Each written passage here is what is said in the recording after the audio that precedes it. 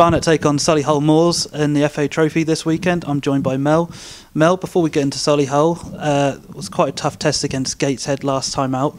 But how important is it that the, the fitness and the resilience of this squad that even even when we're not fully at our best, that we can get results like at Plymouth in the last minute and Boreham Wood in the last minute and pretty much last minute at Gateshead? How important is it for that to, to know that we've got that fitness and resilience in the squad?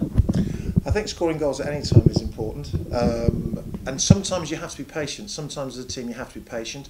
Sometimes the opposition do something against you that causes you problems. You've got to work it out and work your way through it to, to get yourself on top so you, you can have the chances. Um, the team works incredibly hard. They know the game plan. They know what Dean wants them to do. Um, and they follow it. And we are a team that goes from the first minute to the 93rd, 94th, 95th and so on, whatever it finishes at.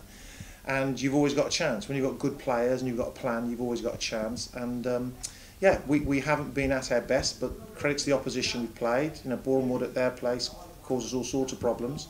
Um, we played the other day, and again, we all sorts of problems Gateshead caused us.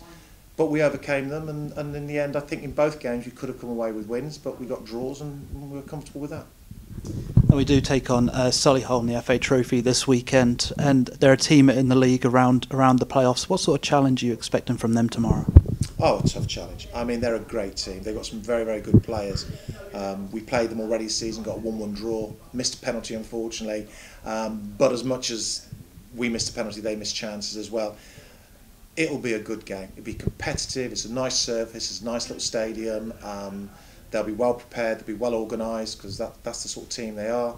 And it'll be a very, very tough challenge, but one we're absolutely looking forward to.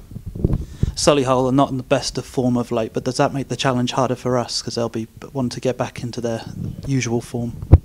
I think that when when people look at form and teams aren't doing well at this or aren't doing well and not not going great, I have a slightly different take on it. I, I think as a team they'll be they'll be up for it. They'll they'll want to win as they will every game they start. I think when teams are struggling, it's not normally the start of games and that that causes them grief. It's towards the end of the game. If you haven't won for a while and you get a goal up you're hanging on, you go deeper and deeper. Um, if you concede a goal, your heads can go down. So I think I think it could have an effect. Who knows? But ultimately, they will be well prepared, well organised, and like I said earlier, they're you know they'll be a tough, tough challenge for us. Someone who is having a good season for us this year is Nicky Kabamba. Three and three for him, and 13 for the season. How much is it for a coach to to rely on someone who can score goals in this level, and how much confidence it give you? I think Nicky's done great. Um, I think they've all done well. It, it's funny how people see see players. I know that um, the general thing is how many goals does a striker score. I'm a little bit different to that. You know, how many goals does a team score, and what effect does the striker have on the team?